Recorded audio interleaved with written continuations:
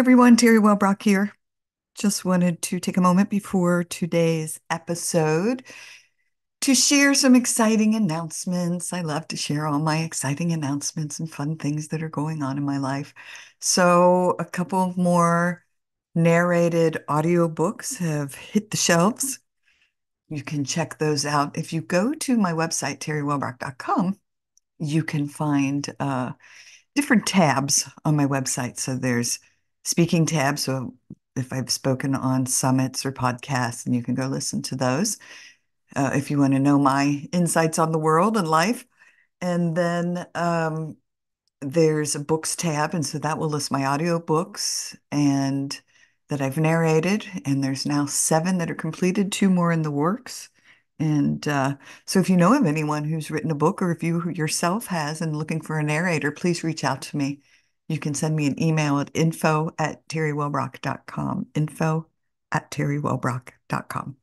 Some of the other tabs on my uh, website include the podcast, the Healers of Hilton Head series. There's a tab for that. And the, um, as I'm liking to call it, the financial health tab. So let's talk about some products that I can help you with. I have all kinds of fun stuff from living benefits to mortgage protection to life insurance to uh, college savings accounts for your kiddos, retirement accounts, um, a debt-free life program. Wow, I'm learning about that, and it's one of my favorites. Absolutely amazing. So if you have credit cards, student loans, mortgage, all that fun stuff, we have an amazing, amazing, amazing product to talk about. So Scott's going to be joining me uh, mid-episode to talk a little bit about that. Scott Summers uh, here on Hilton Head Island, and uh, so yeah, you can learn a little bit more about each of those things. All right, now for today's very informational and educational interview. Welcome, everybody, to the Healing Place podcast. I am your host, Teri Wellbrock, and I'm super thrilled to have with me today Constance Scharff, and she is a PhD. She is speaker, educator, researcher, author, and I'm telling you, I loved this intro, and I'm going to read this to you because it just, it just, I just thought it was amazing. Award-winning and best-selling author, international mental health educator, and badass leader who helps women become empowered to create meaningful change. She is also the founder of the Institute of Complementary and Indigenous Mental Health Research. So, welcome, Constance. Thank you. Thank you for having me. I'm glad to be here. Oh, I I told you before we hit record. I'm I'm excited to learn from you. I know you have a a recent book that's come out. I uh, do. I so do. Yeah. Can, what the path to God's promise? I think the path to God's promise. There it is. Yeah. And it's uh, available on Amazon or uh, by order at any place that books are sold. I love when you support uh, brick and mortar uh, bookstores, especially independent bookstores. Um, but yeah, it's it's available everywhere. Well, good. We'll swing back around to that in a few. Um, sure. Just because I want to learn, uh, I love the title of it. It caught my attention when I was when I was stalking your website and checking things out before we came on. Um, so yeah, so gosh, there's so many roles that you that you can you have. Yes. Um, but I'm I'm super curious about what you founded. Uh, can you talk to us about that? Sure. So, the Institute for Complementary and Indigenous Mental Health Research is essentially a think tank.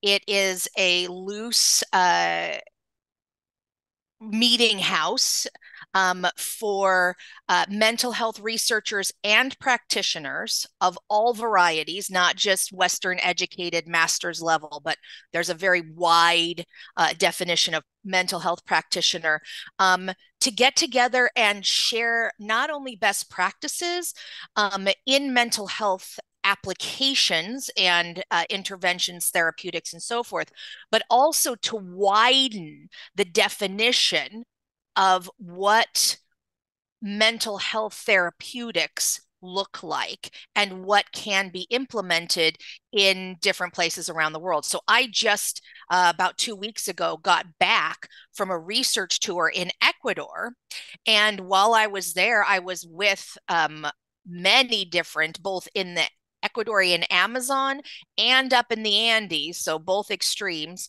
um, with traditional healers there looking at what they do um, for people who have mental health concerns. I was even taught how to make ayahuasca, which I was blown away because I was like, I was like, is this is not a closed practice? Well, because they don't have um, the uh, cultural appropriation that you see with native groups here in the United States and in Canada. They were like, no, like you are interested in something that we have, would be happy to share it. And so I really got a lot of insight into this broader definition of mental health and and how we um, facilitate mental health when people don't have access to um, or don't feel comfortable with traditional Western mental health therapeutics. Yeah, I'm so glad that that you're focusing on that approach because I've talked about it so often on this show of the Western medicine approach of let's throw a pill at it. And uh, not that I'm anti pharmaceutical, but there's so many options out there holistically for for healing. Right. So I mostly work in the realm of complementary therapies. Um, we added my colleagues and I, we added the indigenous part because I really believe that we need more voices at the table. And people made room for me at their tables. So I um, am a founding member of the Society for Consciousness Studies, which is um, uh, research, again, same sort of deal, like just a bunch of, of researchers who get together and share information.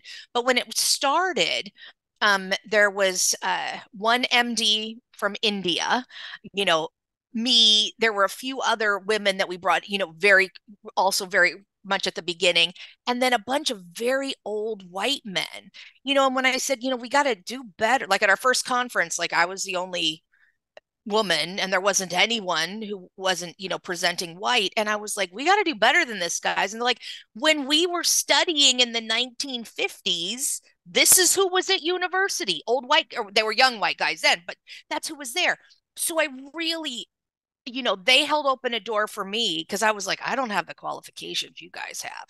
And they're like no we want you in this you know you have something to offer here. And so someone held a door open for me i hold the door open for other people. So i don't do um, that research myself um, but i'm very big into the idea of uh, decolonizing mental health and that means that i need to learn i need to listen and i need to hear what other people do.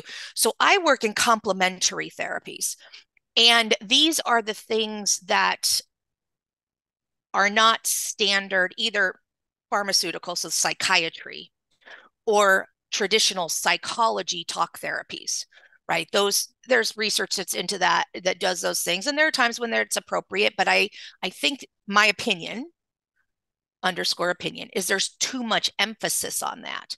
So one of the things that's happening so one of the things about me i've been sober um, for more than 25 years. And when i was first getting clean and i share that because i want people to see that sobriety a is possible and b you can have an amazing recovery. Like i travel the world talking about mental health which is my passion right? So and i write award winning books and i like this weekend i'm going off to another city to do a book signing. Last weekend i had a book signing in my hometown right? So i get to do exciting things sober and i want people to know you can have a great life sober. But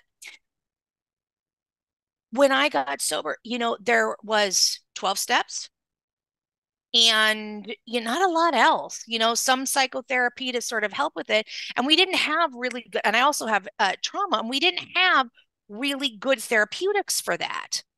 Now 25 years later the push is to manage addiction as a chronic illness pharmaceutical companies are pushing for pharmaceuticals. Other people are pushing for with psycho forms of psychotherapy. But i'm like guys i recovered. I consider it an inter like a, a, a, a, in that there's been an intercession right? Could i get it again? You know if i started drinking I don't have any desire to drink like a normal person, which is what they say in 12 steps. I don't want to have a glass of wine with dinner. Like that's boring to me. If I'm not like barfing on myself, peeing on myself, falling off of my chair drunk, I'm really not interested in drinking. And I know that about myself even now.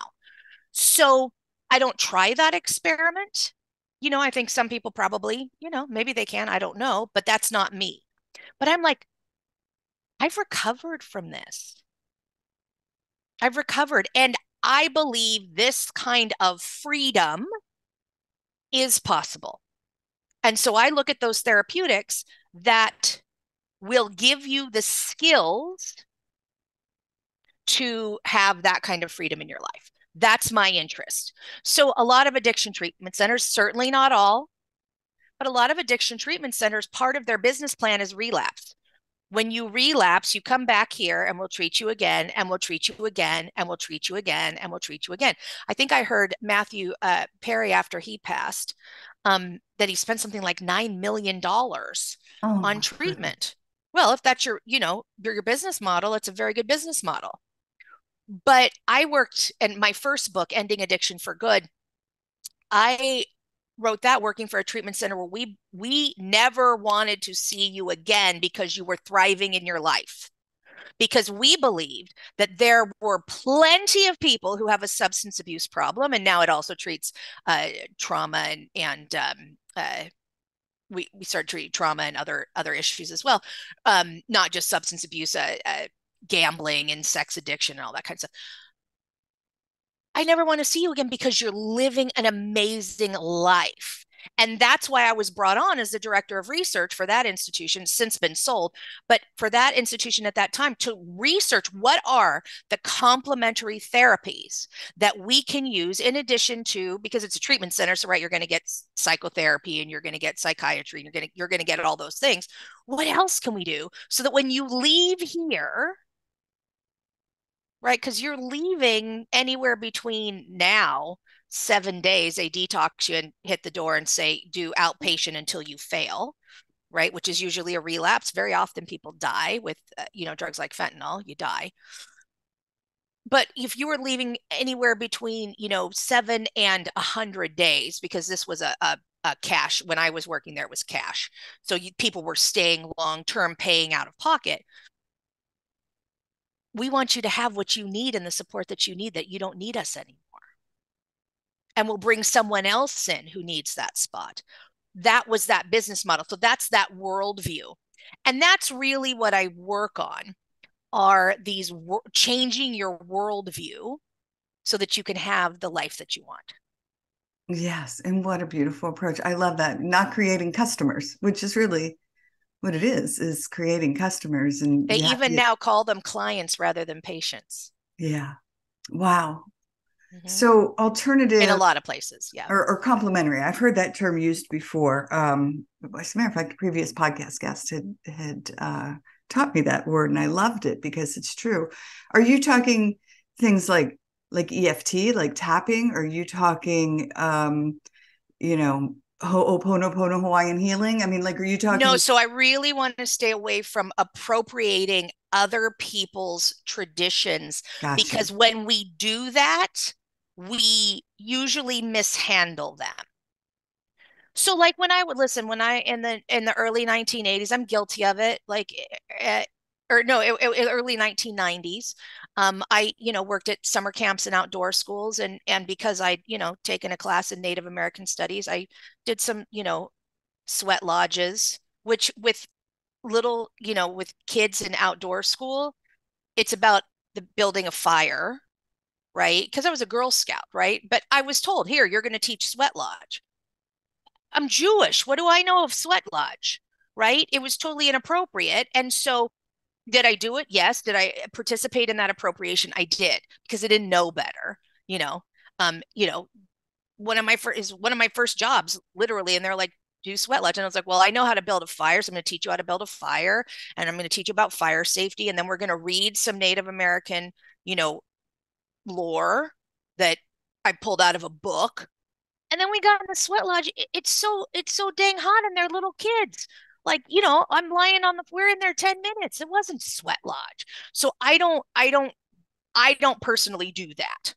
Um because you know all we learned about sweat lodges is that some native american communities use them and they're really hot. And and if you don't have like someone who knows what's going on i, I don't want to be in there. It's it's right. it's ridiculous and then I took the kids. We took the kids swimming afterwards, right? So it was more like it was more like sauna and then cold, you know, like Scandinavian was really what they got out of it. So complementary therapies, yeah, like so like tapping, um, and and and so forth. Uh, I love acupuncture and acupressure, um, uh, yoga when uh, I left the treatment center, I was looking at yoga specifically because every treatment center has yoga now. And um, but why? Because when I've been into the the rooms, the yoga rooms, I didn't see people really getting anything out of it. And what we learned in the research, and this is research that's mostly discounted because it comes out of India the Indians are doing a lot of really good quality research about yoga. Why? Because they have a tradition of doing that. But, well, it didn't come out of one of our Western journals. I'm like, it's written in English. I could read it, you know. So I don't know. You know, look at their re- look at the way they do their research. If they do it in a way that you be- believe is appropriate, then why not accept it? Uh, so that's there's that kind of systemic racism as well. But what we learned about yoga is that it's the breath it's not the poses. And if you look at like Yogi Bhajan and 3HO yoga, he had a um, an addiction treatment facility before his death, and uh, it was all about breath work. So th- those are the kinds of things that we've learned in the research.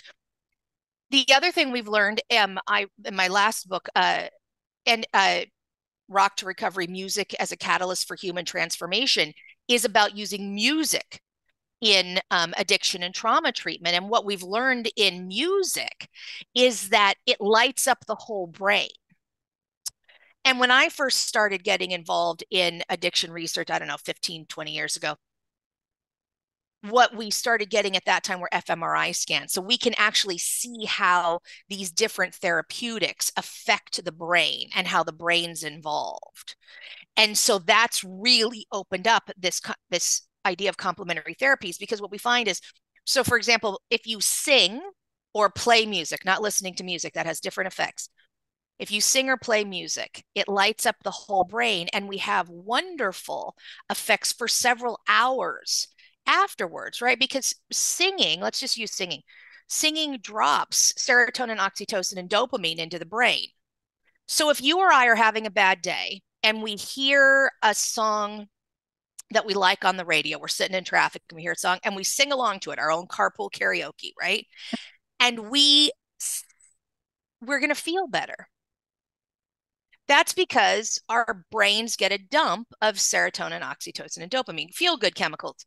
Now, imagine you're five days in addiction treatment and your brain, you've been, you're being detoxed and your brain is not accustomed to you those chemicals, right? Because you're getting them from the outside right? You're getting you're playing pharmacist with your brain. Your brain's not producing these chemicals. So you and i we have a bad day. We're sitting here and our dopamine level jumps like this right? Our, our serotonin oxytocin and we so we get a mood lift like this. These people are so far in the basement that when they're when they sing and their brain dumps these chemicals they get high. Best thing that can happen in an early days of addiction treatment is you give someone a natural high. You mean if I sing, I'm going to feel better? Well, people stay in treatment just to stay in that program that happens once a week.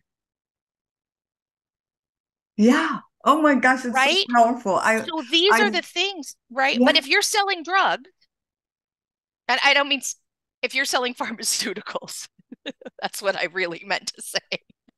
Not if you're the dealer on the street. But if you're selling right. pharmaceuticals, you don't want that research funded because if I teach you, right, I've just taught you in what, two minutes that singing is going to help you. And you know this because you've sung along to the radio at some point and you felt better. Right? Why do people sing along to the radio? Because it makes them happier. You don't even have to be having a bad mood.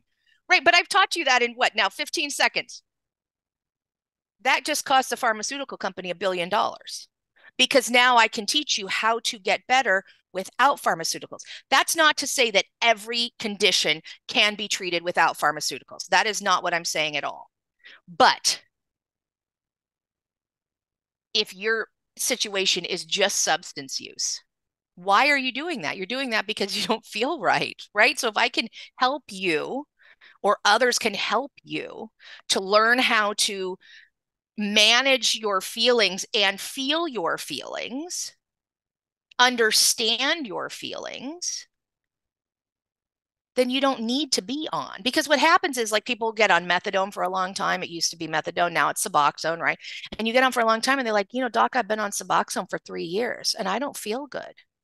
Well, because you're not supposed to be on Suboxone for three years. It's supposed to help taper you off of the opioids. That was the intention of that drug. But if I can manage you and show research studies that say we can manage the drug addicts, right? Because it makes drug addicts dirty and stigmatized. And well, we'll just, you know, it's no different than methadone. It's just easier to take because I can give you, a, you know, a, a bottle of it, and and instead of you having to go to the clinic every morning. Right.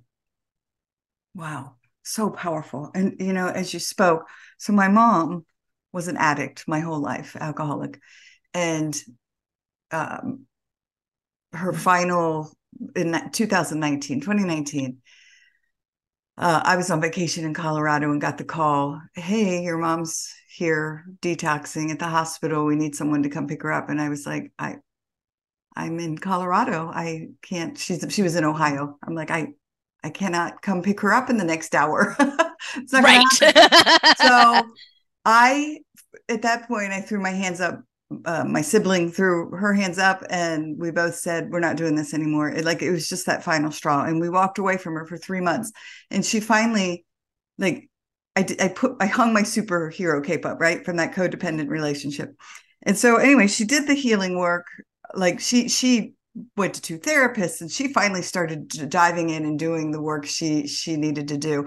But it was interesting because i of my research in the trauma recovery arena that when I finally reconnected with her and sat down and said, "Mom, like it's time to talk about your your childhood trauma and the reason why you're diving into the bottle." Well, anyway, I swear to you, that's so crazy she would want to sing songs. And so we would sit around and sing songs from my childhood, like crazy, silly, fun songs that I hadn't sung since I was a little kid.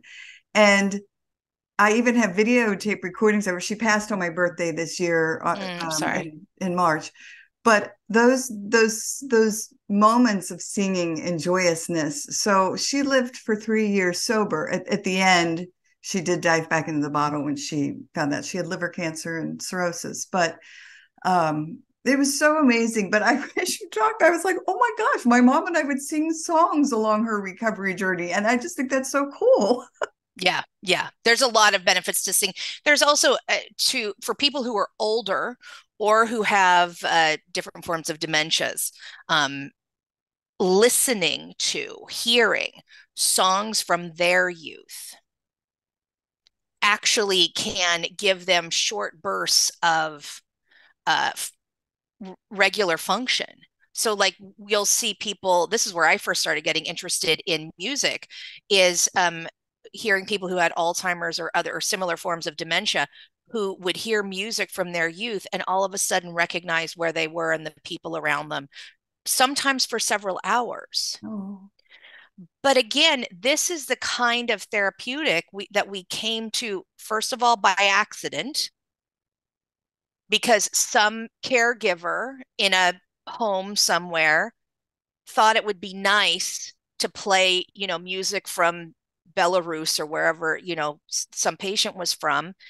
And they started seeing this, whoa, wait a minute you don't have to have a master's or a PhD in music therapy to play a song for someone. Right. And so if we can expand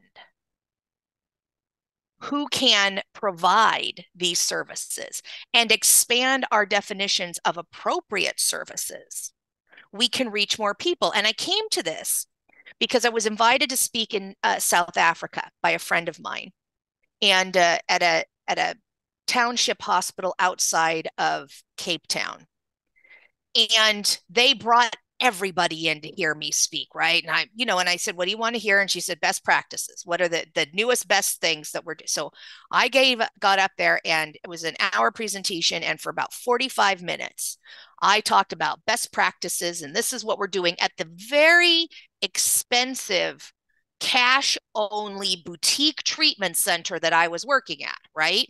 Where people can pay, you know, a hundred thousand dollars for whatever you know service. It'd be like okay would you do you take a check? type of deal right? And so this is what i'm giving to this township hospital. And there was one physician one psychiatrist who was white. Everybody else was black.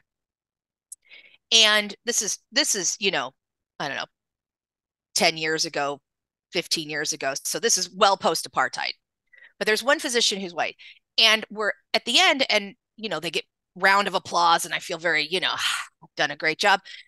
And uh, the one white doctor raises his hand uh, when I ask for questions. He raises his hand, and I, I, I say that because I feel like he was the only one who felt like he could challenge me because I had been invited in and given a topic. I mean, I didn't just pull this out of the air. And he said, "We have no psychotherapists, or we have four psychotherapists in this region, and we have none in the region to the north of us." So we can't do anything that I mean, this is what, you know, that split second. I've just wasted all these people's time, right? But I lived in Kenya when I was an undergrad. And I've lived in India and and so I'd had some experiences in other parts of the world and I very quickly said, "Do you ever work with traditional healers, shamans, whatever, you know, you you call them here?"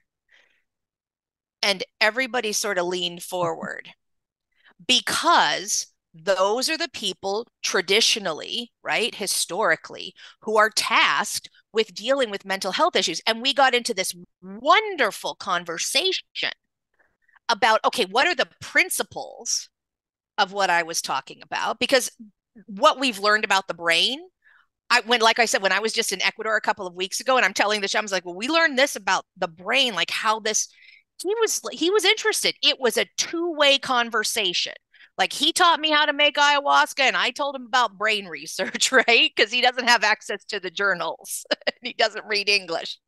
So, you know, like we have these conversations. So it was like, okay, so what are the basic principles? And how can we capitalize on that information? right? So when I was in Namibia with the San, uh, you'd know them as the Bushmen of the Kalahari, right? Um, with San, and they're clapping and singing, and I'm like, oh, I know why this works. And when I get invited to Vietnam, to some village out there, I can I can say, okay, these are the scientific principles from the West. This is what I've observed in Southern Africa. This is what I've observed in, you know, North American traditional communities. This is what I've learned from Pacific Islanders. What is appropriate to you? How do these pieces fit for you? Because, like here in the United States, Native Americans hardly ever get any support for mental health. And when they do, and they walk into some therapist's office who's usually very young and usually has little or no cultural understanding, they have one session and walk out. It's almost 100%. They don't come back. Well, why would they? I mean, you know, I went to a therapist once uh, who was supposed to be very, very good for trauma. So I went to her and I said, I don't say Kaddish for my father's yahrzeit. Well, she didn't know what a Kaddish or a yahrzeit or a nothing was. And I spent the rest of the session educating her as to why this was important. And I never went back. Right. And I got it. I'm like, of course they don't. Yeah. Of course it doesn't work because it doesn't work outside of its context. Is, is you that know, what you mean by the decolonization? Yes. Okay. Okay. So the only thing that is appropriate, and when I say appropriate, I mean paid for by insurance, not my, you know, not a judgment on my part, but what is appropriate are master's level and above, usually. although there, there are some exceptions. You could have like a drug counseling certificate, right? And lead some limited sorts of groups. It's mostly a master's level or above.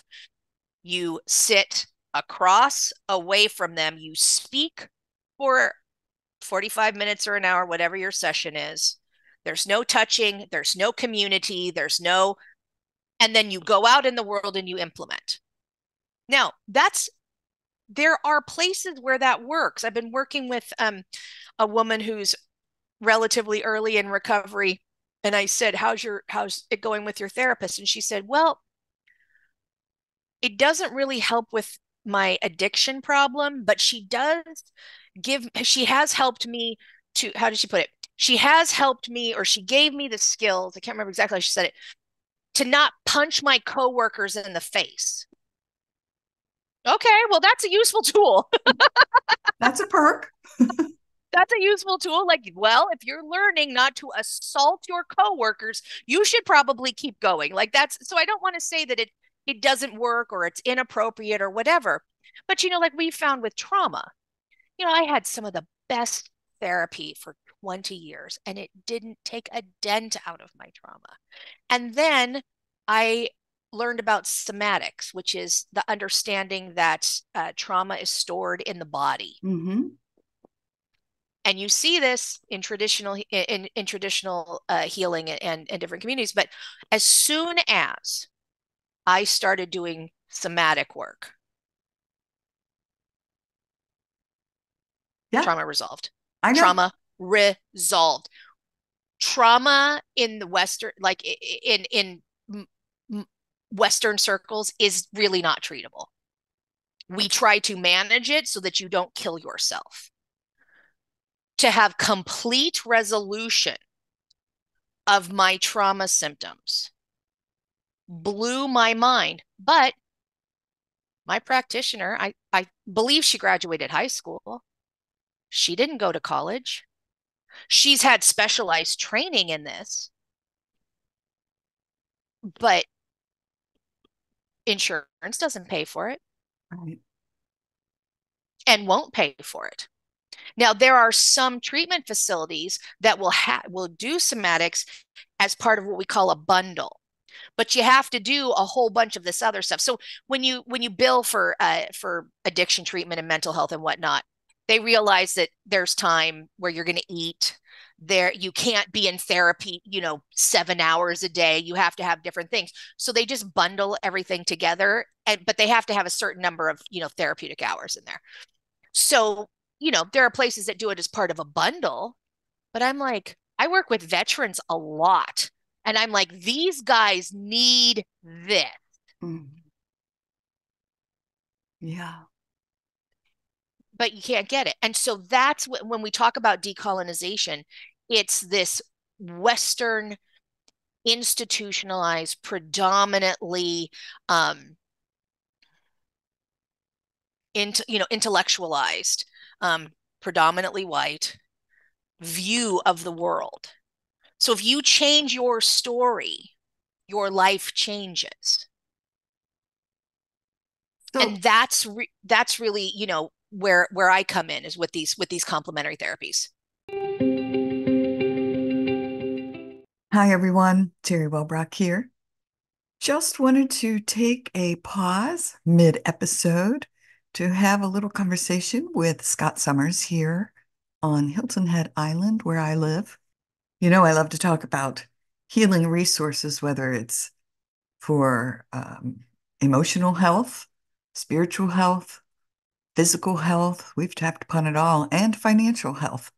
So, we are going to talk about some financial health products. Retirement savings. I know that's another um, wonderful option for for those with Symmetry Financial Group. Yeah, I think one of the things I typically like to do is if I'm helping a family just with a basic life insurance policy or final expense or mortgage protection, I always let them know, you know, hey, the the insurance carriers we work with can also help you with uh, preservation of your retirement assets.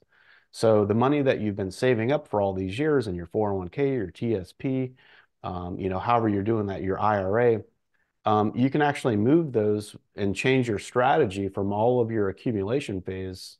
Um, and when you start moving into that place where you're getting close to retirement and you don't want to have any risk at all, then you can actually work with the insurance carriers.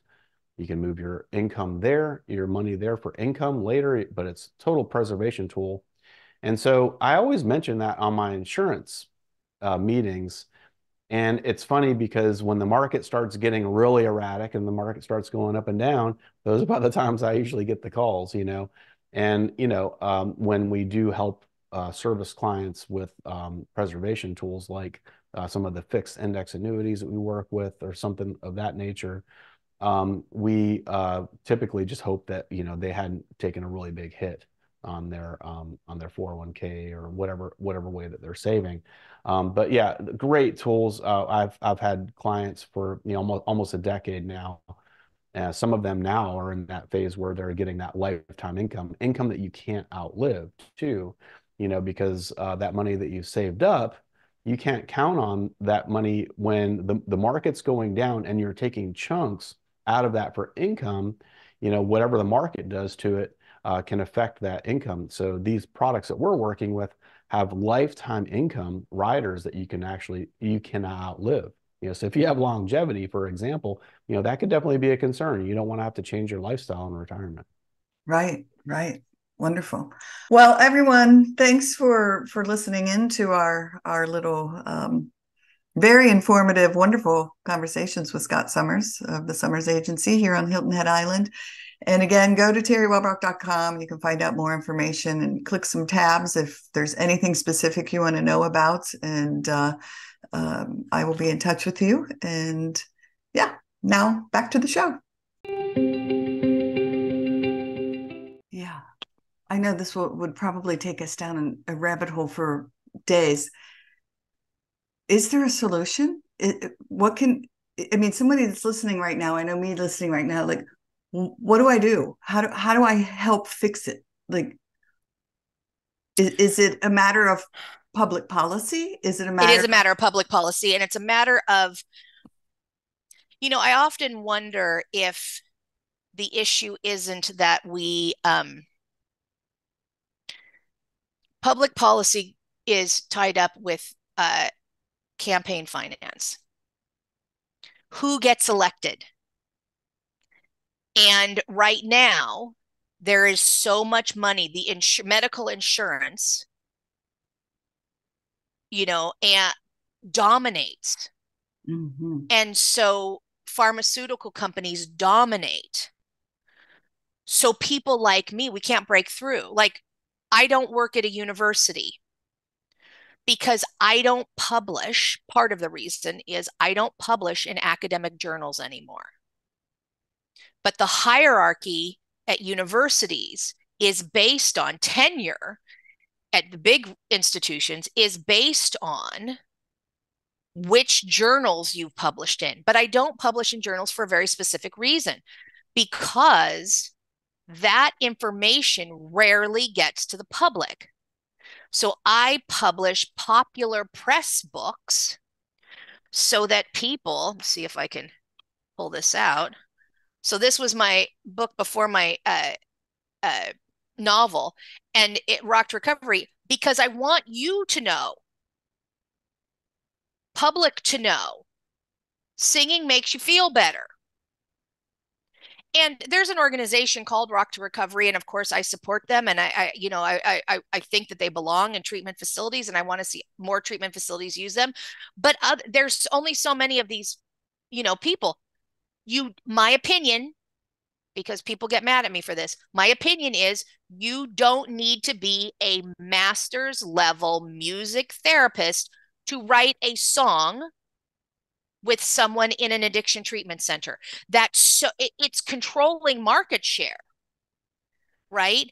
If that's the if the only person who gets paid by insurance is someone who has a music therapy degree, which by the way is a minimum of 8 years in college for that for that specific then we don't have enough of those now it's great if you're a music therapist and music therapists can do a very very good job but i want to make sure that everybody knows that your brain thrives when you sing right? You don't need a master's degree or a PhD. So I don't put that into the journals because it has to go through this long process and then everybody complains about it and nobody reads the thing, you know, and 2 years later I've still got veterans who are killing themselves because we can't agree on whether or not the tech who's working with them can write the song.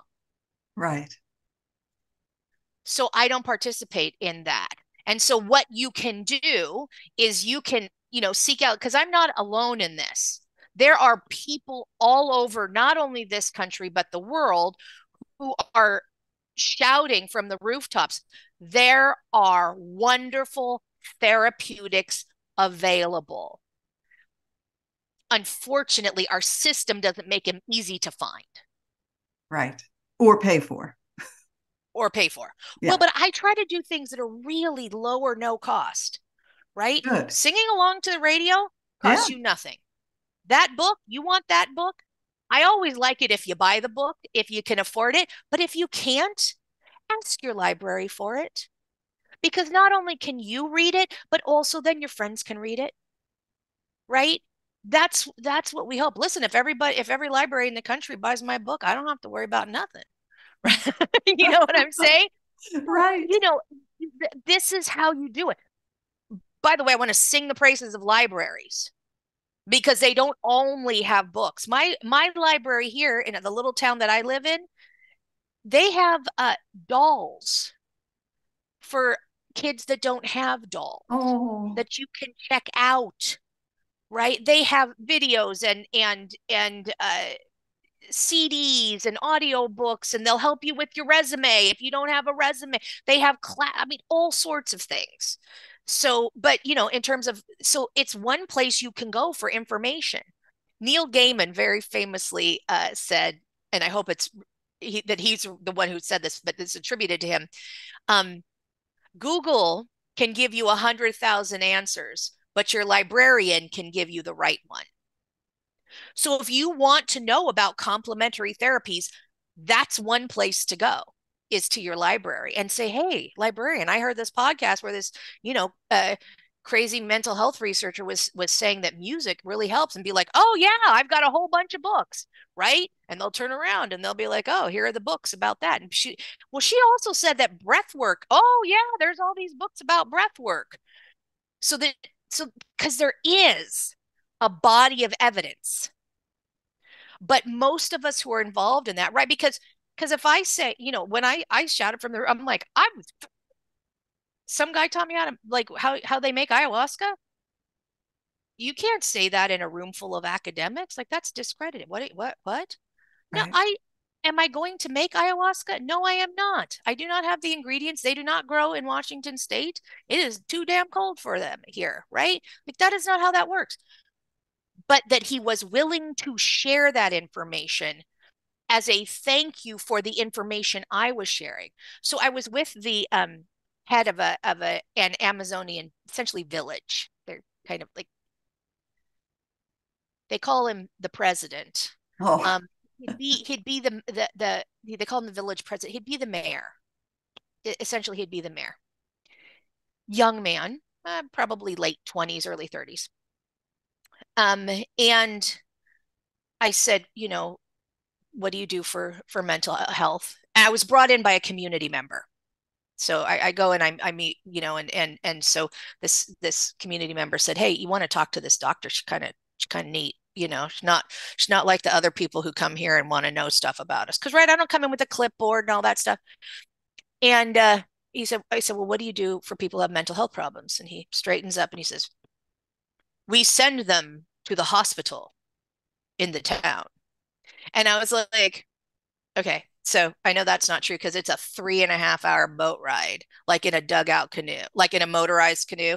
I'm like, that's that. So I said, okay. So before I don't say all that to him, right? That's, you know, yeah. But I know that's the truth. He's telling me the answer he thinks I want to hear. Right. And uh, I said, okay, so I get it if there's a very severe case. I said, but before it gets to that point, I said, don't you have like, you know, a shaman, a traditional healer, whatever, you know, word you you you want to use for that? And he was like, yeah. And I said, you know, I'd done my research before and I was like, well, don't you have these kind of, you know, these kind of community rituals based on connection? And he was like, yeah. He was like, do you want to talk to the shaman? And I was like, yes, please. And that's, you know, so we, we got to talk to him a, a little bit. They sent for him and they said, you know, get him, you know, everybody's got to come by canoe. Anyways, but uh, he, at the end of the conversation, he said, doctor, can I ask you a question? It's very embarrassing. You know, please, please. And it gets real quiet. My translator can barely hear him. I understand Spanish, but I, I always keep a translator to make sure that I'm understand perfectly, you know, because it's for research. So I want to make sure that I'm understanding perfectly and not mistranslating or misunderstanding or mishearing a word or whatever. And so she leans in and he says, I'm having trouble sleeping because at night I worry about my community and am I doing enough for them?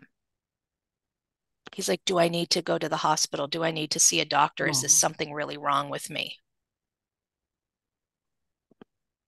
And of course, we want to, both of us like kind of want to titter, but we don't, right? How beautiful. And we're like, No, exactly the opposite exactly the opposite that you care so much about doing a good job. This isn't a paid position, right? That you care so much about doing a good job for your community that it keeps you up at night is actually normal. And we would be concerned if you didn't. And then we taught him right in the middle of this, you know, field. There was there was a, they were doing this big cleanup project that they do once a year. So that's how we got to meet all these people. Anyways, but we happened to be there that day we teach him grounding exercises. We're like, put your feet on the ground, breathe like this. And the shaman later was like, yeah, like totally, you know. So these are the things that that we do in terms of having these, you know, these connections and teaching people these real skills. Teaching these skills because we've lost them. We've become disconnected. Everybody's got a phone, right? And doesn't know how to, you know, I've had a hard time so my uh, Lisa, my my uh, staff, uh, uh, my intern that you that you spoke to, she's in South Africa, and and part of the reason I hired a South African is I wanted to hire a South African, but part of the reason I hired a South African is she has a lot of speaking skills that that a lot of, of younger people in the US don't have. Right? And so how do we get reconnected? Because addiction and trauma are not cured by addiction by abstinence, right? So I've abstained from drinking. But the problem of drink of my drinking is not the alcohol because when I stopped drinking, I should have gotten better. Right? If you are um, bitten by a snake and I give you anti-venom, we remove the venom. What happens? You immediately get better. But you take the alcohol from someone who's been drinking for a long time. And what happens? They immediately get worse. And all sorts of psychological fragility and extreme feelings and outbursts and all sorts of things. So I know the problem is not just the alcohol. Alcohol is the solution to the problem. How do people get better? They get better through connection right? So we had all these rat studies. If you put a rat, uh, uh very briefly, if uh, you put a rat in a cage by itself and you put in cocaine water, heroin water, whatever alcohol, whatever drug you want, the rat will drink itself, use itself till it dies. It'll use everything and everything and everything and it'll die. And so these these rat studies were done and people were like, "Wow, these things are really bad and really addictive and people should be very careful." But then another guy came along and he said, Maybe the problem is you have the rats in solitary confinement. So he made a rat paradise. And he and rats are very social, so he put a lot of rats in there. So they had rat playtime and play dates, and you know, they could go to the dance and they had toys to play with, and they had food, and they had mazes, and they had all the things rats would want. And they had their drug water, heroin, cocaine, alcohol, whatever you want to put in there when they have connection, they don't drink themselves to death. Connection is a curative. So when I go out to all these places and observe and get invited in, it's been so beautiful to be invited in, right? To to see what people do. It's always in connection. What are the what I I have yet to meet an indigenous group to heal a person that sends them off by themselves. Now there are there are certainly rituals that you do go by yourself on a thing, but they're not the healing rituals uh, for for addiction, for example. That's connection. Suicidality, you don't send someone off by themselves. That's not what we do. When people jump off, want to jump off a bridge, this is anecdotal. And you've seen pictures where someone will come up behind and grab them and say, I'm not letting go. Those people don't come back two weeks later and jump off the bridge. Because the lie we tell ourselves when we're suicidal is that you, royal you, whoever you are, are better off without me. That I am a burden, you don't need me, I harm you, whatever that negative story is but you are better off without me which is never true. So when some when we you know want to talk someone off the ledge right that's the the phrase that's used. And they have a good relationship with mom or dad. We always bring mom or dad. It's not true. You are not better off with we are not better off without you. Right? And so this connection is so important. It's the same thing with uh, with babies uh, from you know uh, uh remember i want to say this was the 80s but the the the touch starved babies from romania oh right? Yes. were, there were so many orphans right? And they were just in these cradles and they weren't touched and there were lifelong deficits because of the lack of touch and the lack of connection and we see that all over the place. So connection is what's actually curative. So back to your question, you know, a couple questions ago, what do we do? Is we have to demand that policies be written that actually support healing. And we can't do that with a government system that is broken to the point that nothing comes out. I mean, I don't even care if it's a policy. I don't agree. I mean, nothing. We can't get a budget passed. It took three weeks to get a speaker. I mean, nothing comes out. So that I think it's that system that has to be addressed kind of first. Meanwhile, since there's seems to be no movement on changing that system. Meanwhile, we have to advocate for ourselves and research for ourselves and and find people like me because I don't I I don't take client. I don't use the word patient because I don't believe that you're sick like in that medical diseased way. I think you've got an issue that needs to be addressed, and you probably need uh, your community of support to do that. I don't I don't see clients because I'm not licensed that way. But I got a Rolodex. Right? I know people and I know, you know, who who does what where and I know where to look. Right? That's why I say a librarian is going to they don't have a Rolodex, you know, they have, you know, we used to call it a card file. Now it's, you know, it's just a, a database, right. right? But right? But they know where to look to find the people like me, right? Who are going to point you in the direction. You know, like I said, I worked with a lot of musicians, rock stars, if you will. And, uh, you know, they'll call me and say, okay, we got a guy who's, you know, whatever. And I'm like, all right.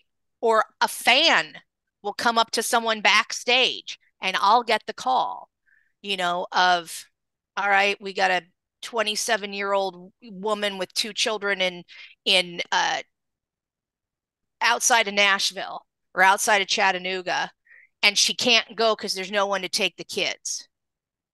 Oh no, I got a place. You want to go to Chattanooga or you want to go to Nashville because she's somewhere in between. I got a place. Take her take her today. That's the other problem is that we don't have enough beds. Yeah. So so how this is what I like what I learned in South Africa. Okay, we don't have beds, we don't have practitioners, we don't have we don't have whatever whatever. The person needs help now. So how do we flex? How are we flexible? How do we change what we do? There was a, a guy in uh, Zimbabwe who uh, had uh, he he was seeing a lot of problems and a lot of mental health issues mm-hmm. and he had a tiny budget. Tiny budget. Mm-hmm. And he said i see that there's a lot of elder this was when aids has ravaged the country right? So we're missing a whole generation and we've got old people and young people and kind of nothing in the middle. And he said i see these old people who are lonely. And i see these younger people who don't have anyone to talk to so he used his little budget to buy benches. And he did a few hours of training because if there's one thing old people know how to do, it's listen and talk, right? And it was the grandmother benches. Oh. I believe he only used women. And he put out his eight or 10 benches, whatever they were, around different places in, in his city and let people know come and talk to the grandmas and they saw a tremendous decrease in mental health issues. Because we have to understand mental health issues predominantly, not all, but predominantly are responses to some sort of social ill. So people say, wow, there's a lot of, of suicide, right? I'm, uh, there's a group in North Kenya that I've worked with and known about for many, many years since I lived in Kenya who's seeing suicide and groups around them, suicide at a rate they've never seen before, especially with young men. Because of desertification and climate change, and they literally can't eat. There is nothing left. Oh. Well, if you literally it's suicide or just starve to death, like uh, uh, like addressing suicidality is not the issue there. We're, you know, it's being framed in the West as well, it's a mental health issue because they're killing themselves. No, it's a it's a climate change issue.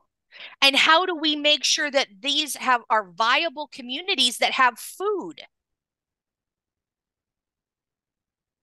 That's if we if we address food insecurity in that region, I am 100% convinced that suicide rates will plummet because we frame the question incorrectly.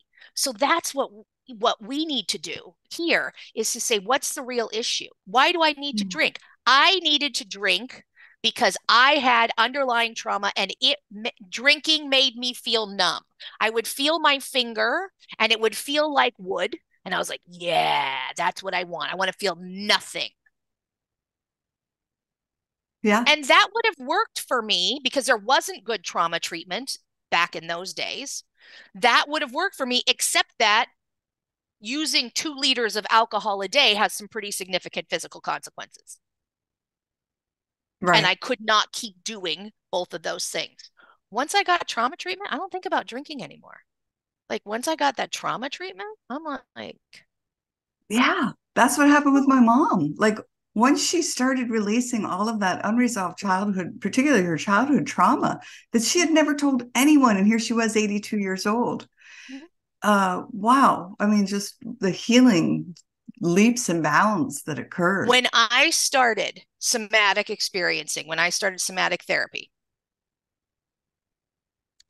I dropped 75 pounds and have kept it off for five years now. I did not change my diet. I did not change my exercise. I did not change anything.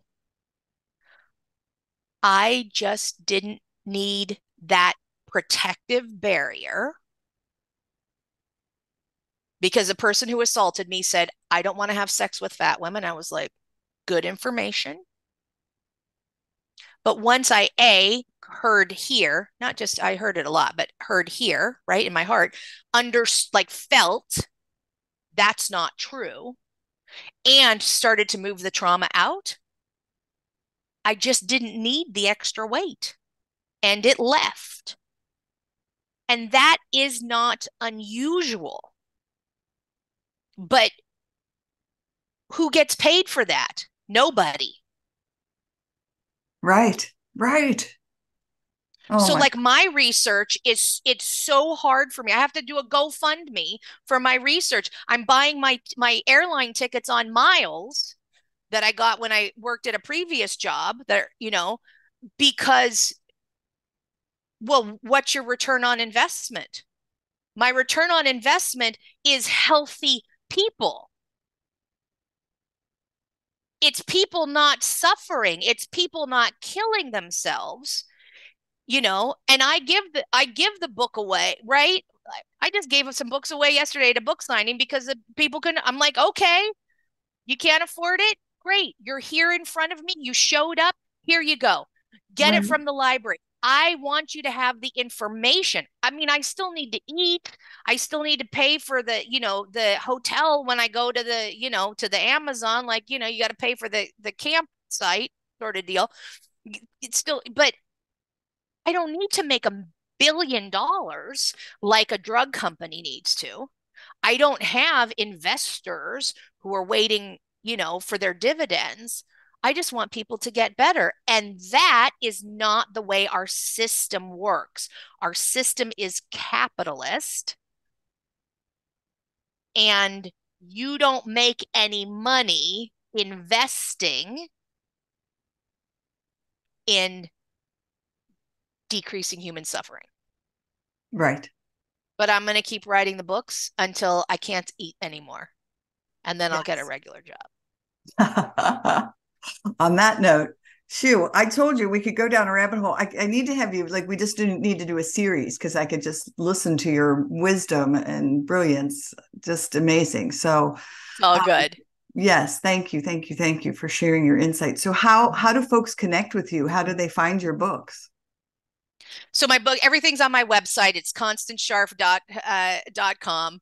Uh, um, I'm on all the socials, uh, threads, X, Instagram, Facebook, and TikTok. It's all um, at uh, Dr. Doctor, you know, uh, Scharff.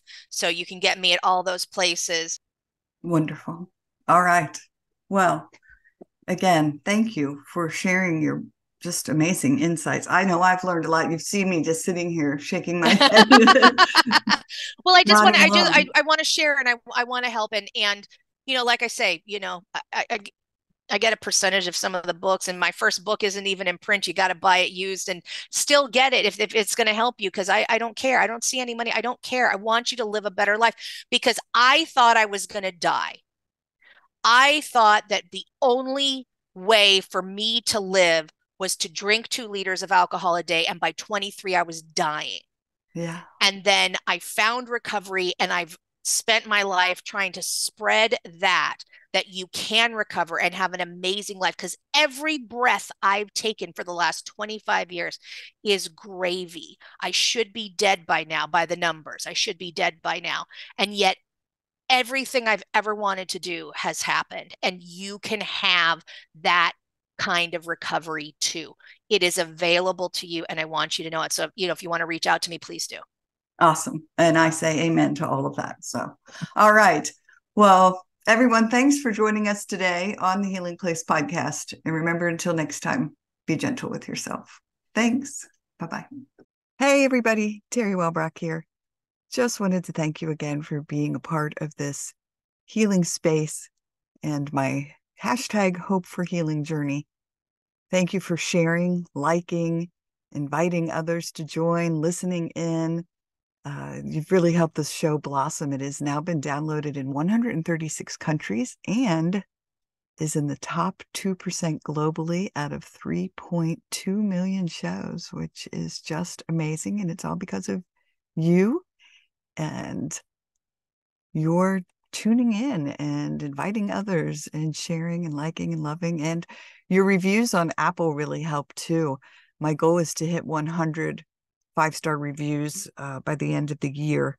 And I am closing in on that. So if you are listening in on Apple or Apple Podcasts, please go and rate the show and leave a review if you absolutely love it.